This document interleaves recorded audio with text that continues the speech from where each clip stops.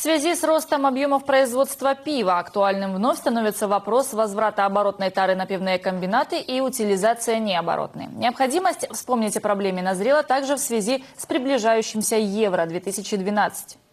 Основная практика сбора стеклотары в нашем городе – это передвижные пункты приема. Вопросы регламентации выдачи разрешений на такие пункты у нас достаточно лояльны, потому в Запорожье их в 2-3 раза больше, чем, к примеру, в Днепропетровске или Донецке.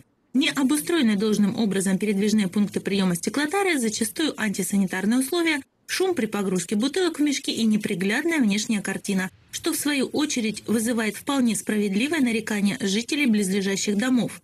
А ведь мы давно могли бы обустроить пункты приема, сделав их стационарными, если бы не бюрократические препоны на пути их оформления. Посмотрите, как могли бы работать большинство киосков. Стационарные, уютные, обустроенные работают по графику, что исключает шумную стихийную погрузку бутылок. Очень хороший киосок, нормально приемщик, принимает хорошо и аккуратненько, чисто, никогда ссоры нет, не ссорится, не спорится ни с кем. Очень хорошая женщина. Я думаю, что должны э, киоски по всьому Бородинську, даже не то, що по Бородинському, а по всьому городу, щоб були.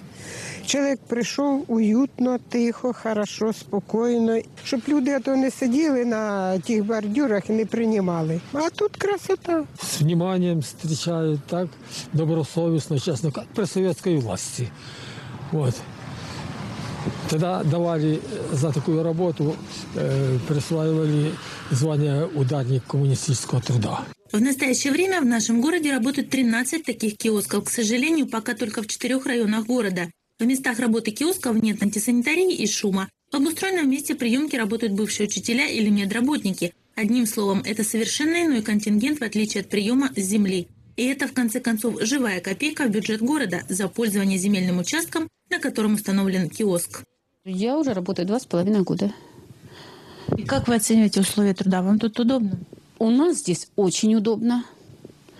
У нас и условия труда, и оплата. Нас э, полностью все устраивает.